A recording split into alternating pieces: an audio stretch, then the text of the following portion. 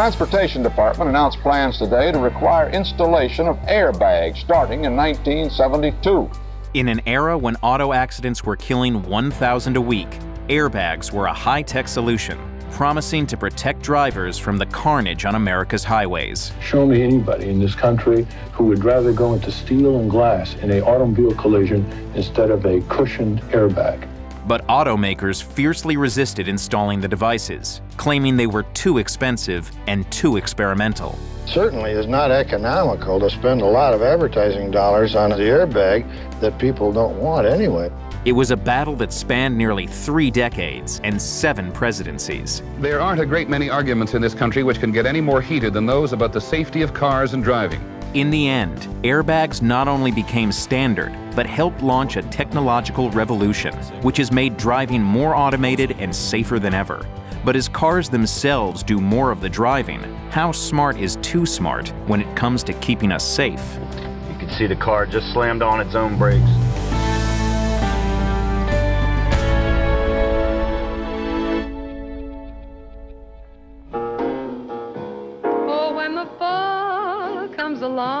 It was the 1960s, Detroit's golden age, when the car was America and America was the car. Detroit town, that's where the cars are. Detroit was king.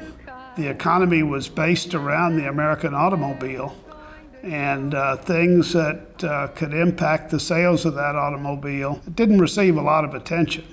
The focus at that time all the marketing, all the effort was on the sex appeal, the speed, the power, and no emphasis on safety. Yet getting behind the wheel back then was risky. 52,000 people a year were dying in auto accidents. We've lost more Americans on the highways than we've lost in all the wars that we've ever fought. And so many of those losses have been young people. Texas collision takes five lives, crash kills six on Chicago Highway, and on and on. In 1965, a young Washington lawyer named Ralph Nader wrote a book, Unsafe at Any Speed, which accused Detroit of designing cars that were outright dangerous and of ignoring technology that would make them safer. The auto industry didn't want to mention auto safety because it didn't want to alarm people, it didn't want to give the image of their beautiful vehicles ever being in bloodied crashes.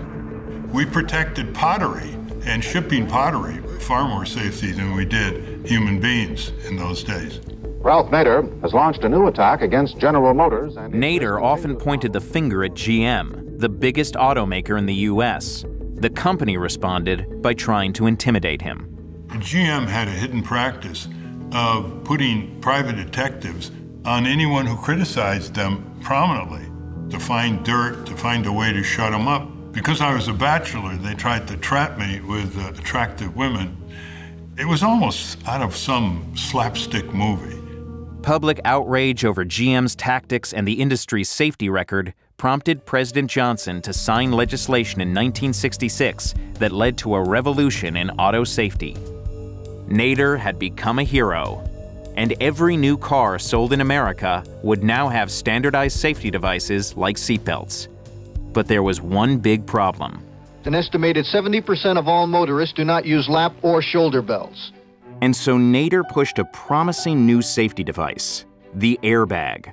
Seatbelts require an action by the passenger or driver, whereas airbags don't rely on driver or passenger behavior. And that's why they're superior. Federal officials believe the airbag is one of the most promising means of cutting down the 55,000 traffic deaths a year. By 72 or 73, the airbags will be mounted in the steering wheel and the rest of the car, protecting everybody. But by the early 1970s, the automakers were fighting back, hard. They argued that airbags were unproven, and customers would balk at the extra cost. Nader vented his frustration to Congress. The major safety features put in automobiles went in in 67 and 68, and there's hardly been a whit of progress since then, when there should be more progress. It turned out that at a private meeting at the White House in 1971, Detroit had been flexing its political muscle over the airbag requirement. Lee Iacocca raised the issue with Nixon about can't you do something about this airbag nonsense? Seatbelts were enough, airbags were ridiculous. And that started the whole process of delay year after year, year after year. Airbags were going nowhere until in 1977, the Carter administration ruled that they or automatic seatbelts began appearing in all new cars in 1982. But the next administration had other ideas. The automobile industry was overjoyed today at the latest Reagan administration rollback on federal regulations. An announcement it was abandoning the requirement for airbags or automatic seatbelts altogether. This is a very tragic day for the American motorist. In 1983, Nader was vindicated when the Supreme Court ruled unanimously that the requirement for airbags or automatic seatbelts be reinstated. Within a few years, Chrysler and others began installing airbags in some models. It's been a long time coming, but the automobile airbag has finally come into its own. Consumer advocate Ralph Nader looking on as Ford introduced airbags as standard equipment on the 1989 Lincoln Continental. Three, two, one. And it's been a 19 year fight. It just shows you got to have persistence when you're dealing with the likes of General Motors, Ford, and Chrysler. We knew it was only a matter of time before you began having side and rear protection, sort of like a enveloping cushion that protected people from crashes on the highway. By the mid 1990s, tens of millions of cars were equipped with airbags, saving an estimated 1,200 lives. The Acura Legend is more than a luxurious choice. And selling cars. It's also a rather safe one. But it soon became clear that automakers and regulators had overlooked a serious risk to children. Airbags can also kill. The force of passenger side airbags, designed to cushion 165 pound adults, proved deadly for dozens of children. The airbag was not child friendly.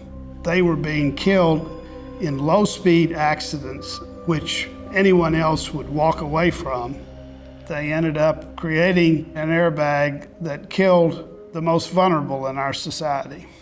All of us, the federal government and the industry, uh, have failed to move as timely as we could. The solution called for more software, more sensors, and a complex algorithm to determine who was sitting in the passenger seat. Grown men, highly trained engineers, are throwing plastic dolls around car interiors to develop an advanced airbag, one that can sense the weight of the front seat passenger and how far they are from the dash. I can tell you, during this time, myself and my colleagues were working 70 hour weeks, almost nonstop. Engineers developed the next generation of airbags. We went from crude electromechanical, single stage driver passenger systems in 1992 to a full blown, does everything for everybody, dual stage, advanced airbag, smart airbag system in 2001. Technology had won, and smart airbags were finally much safer for all occupants. By 2014, some models had as many as 11 airbags. Even the seatbelt has one. But problems persist.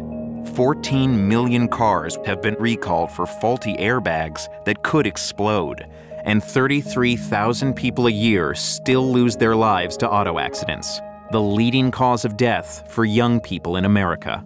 The sheer numbers of people we're saving is amazing with the system, but the airbag technology really has plateaued. Ultimately, we're going to need a, a not an evolution, but a revolutionary change. And that revolution is coming from the same kind of sophisticated technology that developed the smart airbag. While radar sensors monitor the traffic around the car. Embedded sensors and computer chips are now helping drivers avoid accidents. These and other electronic gadgets have transformed cars into computers on wheels, with some containing more software code than an F 35 fighter jet. We're talking about a level of sophistication, a level of testing that is beyond almost anything you'll see in any other commercial product or military defense product for that matter. All this sophistication comes at a cost. Cars are now being recalled for electronic and software glitches at the rate of a million a month. Software problem. A software problem. A software glitch can cause those vehicles to shift into neutral on their own Some of these glitches have not only prevented airbags from deploying, but caused cars to do everything from shut down on the highway to accelerate uncontrollably. It was 35 minutes of sheer terror. And in the case of Chris and Michelle Serino's 2005 Honda Pilot, slam on the brakes without warning. You could hear the groaning noise when every time the brakes are applied. I just came to a complete stop. You'd never touched the brake, which was the weirdest part of the whole thing. You see the car lurching forward again repeatedly. We were not in control of when those brakes would slam on, and it was that was very frightening. It got to the point where we just didn't feel safe with our kids in the car. We got lucky that it that we didn't get killed. Honda ultimately found several flaws in its vehicle stability assist system, which caused the brakes to suddenly engage. The errors were so widespread, the company had to recall more than half a million of its vehicles. Every manufacturer is trying to come up with some new wrinkle in terms of keeping us all safe. But in the pursuit of safety, are we making things so complex that maybe are we making things not as safe as they should be? Essentially, your car becomes just another extension of your digital lifestyle. But defects aren't the only issue. As cars become less Detroit and more Silicon Valley, they are becoming just another device on the internet. Always on, always connected, a tempting target for hackers. Tesla cars are being targeted for possible security flaws. New research shows that the Tesla can be located and unlocked remotely by hackers. They can get in through your tire sensor, your CD player, your Bluetooth connection. A car is about as secure as your PC is. And just as full of your personal data, which allows auto companies to know intimate details about you and the car you drive. We tend to think of the inside of our cars as being private, but as we start to move to a digital world in cars, there's much more data that's generated and collected. And once that data exists, other companies spring up that find a way to monetize it and want to use it. Imagine your car could sense your desires. Cars are sort of the last anonymous way to travel, and we're about to lose that. Automakers, insurance companies, and marketers are all investing heavily to capitalize on the stream of personalized data coming off each car. Turning your ignition key will soon mean a whole lot more than you ever imagined. What if you had the ability to peer into the car from anywhere in the world using an Intel phone? What if we could identify different drivers with face recognition automatically? We're all going to be under constant surveillance, and whether someone decides to use that data and how they decide to use that data will be opaque to us. We will look back and say, boy, remember what we were concerned about, and it will seem quaint. Obviously, airbags and seatbelts, these were really significant changes in terms of uh, protection of motorists. The question today is, are we going to spin off into more and more remote, what I call Silicon Valley electronic trivia? Automakers say the promise of the technology far outweighs the risks, and they are rapidly approaching the automotive holy grail cars that can drive themselves. 45 years after the fight over airbags began, engineers say they can finally see the day when the airbag will become obsolete. Imagine never losing someone to a traffic accident again. When self-driving cars are a reality, it's, it's going to be amazing. This is a huge opportunity to save lives and make the world a better place.